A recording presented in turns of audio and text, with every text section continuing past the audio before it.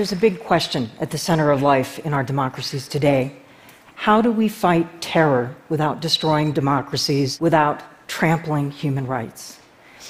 I've spent much of my career working with journalists, with bloggers, with activists, with human rights researchers all around the world, and I've come to the conclusion that if our democratic societies do not double down on protecting and defending human rights, freedom of the press, and a free and open internet, radical extremist ideologies are much more likely to persist.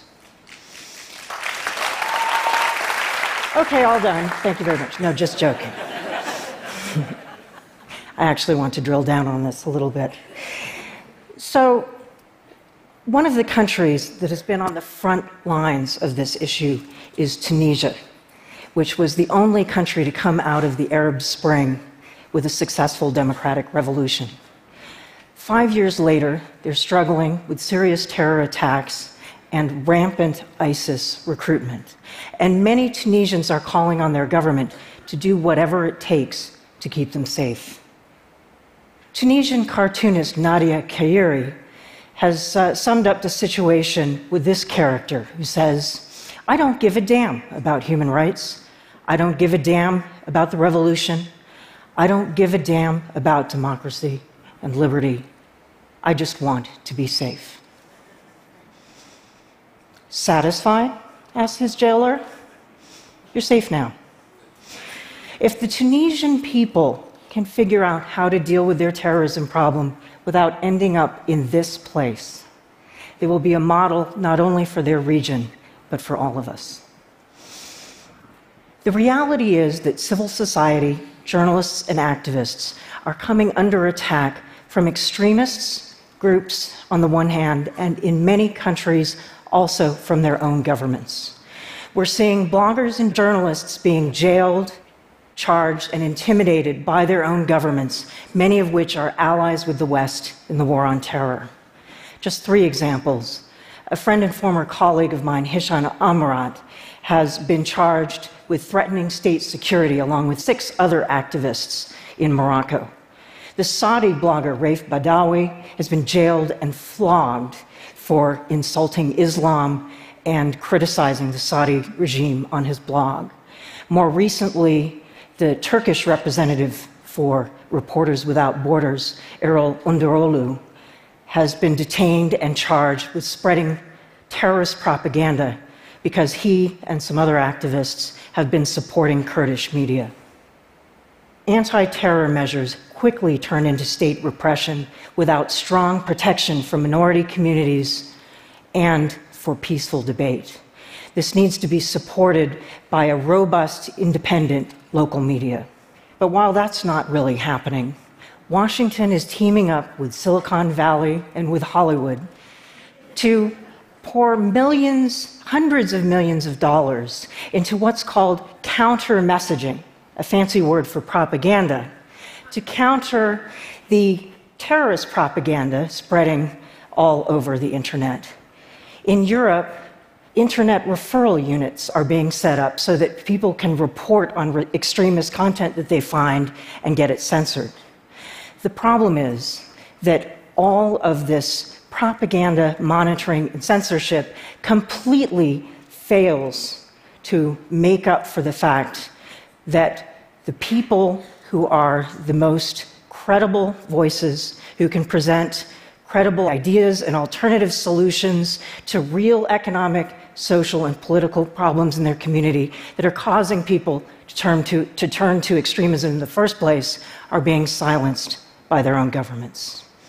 This is all adding up to a decrease in freedom across the world. Freedom House, the human rights organization, reports that 2015 marks the 10th straight year in a row of decline in freedom worldwide. And this is not just because of the actions of authoritarian governments, it's also because democratic governments are increasingly cracking down on dissenters, whistleblowers, and investigative journalists. UN Secretary General Ban Ki moon has warned that preventing extremism and promoting human rights go hand in hand. It's not to say that governments shouldn't keep us safe, of course they should, but we need public oversight, transparency, and accountability to the rule of law. Meanwhile, extremists are literally killing off civil society in some countries. Since 2013 in Bangladesh, over a dozen secular bloggers and community activists have been literally slaughtered by extremists while the government has done very little. From the city of Raqqa in Syria, people like Ruqia Hassan, Naji Jerf have been assassinated for their reporting out of ISIS controlled territory. The citizen media group called Raqqa is being slaughtered silently relies on strong encryption to send out their reports and shield themselves from interception and surveillance. Yet authorities in countries like the United States, the United Kingdom, and many other democracies are seeking to use the law to either weaken or outright ban strong encryption because the bad guys are using it too. We have got to fight for the right of citizens to use strong encryption. Otherwise, dissent and investigative journalism is going to become even more difficult in even more places. And the bad guys, the criminals and terrorists, are still going to find ways to communicate. Kudos to the companies that are standing up for their users' right to use encryption. But when it comes to censorship, the picture is much more troubling. Yes, there's a real problem of extremist content spreading all over the internet. And Facebook, YouTube, and Twitter are among the many companies who report having taken down hundreds of thousands of pieces of content and deactivating accounts that are connected to extremist speech. The problem is their enforcement mechanisms are a complete black box, and there is collateral damage. Take, for example, Ayad al Baghdadi, an activist who makes fun of ISIS on Twitter had his account deactivated because he shares a surname with a prominent ISIS leader. Last December, a number of women named Isis, which also happens to be the name of an Egyptian goddess, had their accounts deactivated. And this woman, who lives in the United States and is a computer programmer, reported on Twitter about her deactivation on Facebook, managed to get enough media attention to have her account reinstated. But that's the thing, she had to get media attention. And journalists aren't immune. David Thomson, an expert on terrorism and reporter for Radio France International, had reports deleted from his Facebook account and had his account deactivated for several days because they contained pictures of ISIS flags, even though he was just reporting on ISIS, not promoting it. And then we have stories from people like this Egyptian man, Ahmed Abdullahi, who reported recently in an uh, event in Washington, D.C., that some of his arguments with extremists, he now spends his time on social media arguing with ISIS followers, trying to get to turn them away. And some of his arguments with these extremists get deleted, which he believes has the effect of shielding them from alternative points of view. It's unclear whether Facebook even knows the extent of the collateral damage or the other companies as well.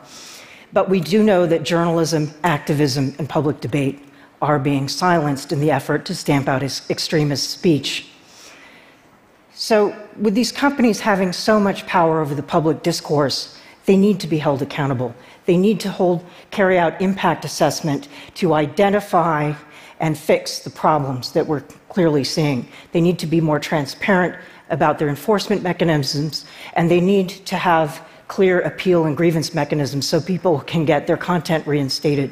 Now, I've been talking for the last 10 minutes about how governments and companies are making it more difficult for people like these. This is a picture of members of the citizen media network, Global Voices, that I helped to co found over 10 years ago with my friend Ethan Zuckerman. Interestingly, about five years ago, right after the Arab Spring, the data scientist Gilad Lotan created a network map of the people in Global Voices who were heavy users of Twitter during the Arab Spring. And he found that Many of these people served as key information nodes between activists and journalists throughout the Tunisian and Egyptian revolution. We've got to make sure that these people not only survive, but are able to continue to thrive. Many of them are still active, other than the ones that have gone to jail or have been driven into hiding or exile. All around the world, people who are sick and tired of fear and oppression are linking up in their communities and across borders. We've got to do everything we can to push our governments and companies to do a better job of protecting their rights. We've also got to be more mindful about how our own personal, political, consumer, and business choices affect people like these around the world. Also, if you follow the news, it's pretty clear that that alone isn't going to be enough. We've got to take personal responsibility by joining, or at very least, actively supporting the growing ecosystem of individuals and groups who are fighting for social justice, environmental sustainability, government accountability, human rights, freedom of the press, and a free and open internet all around the world. I believe that ultimately we can overcome the digitally empowered networks of extremism, demagoguery, and hate. But we've got to do this by really beefing up the global networks of citizens around the world, powered by people who are working hard every day and taking personal risk for a future world that is more peaceful, just, open, and free. Thanks very much for listening.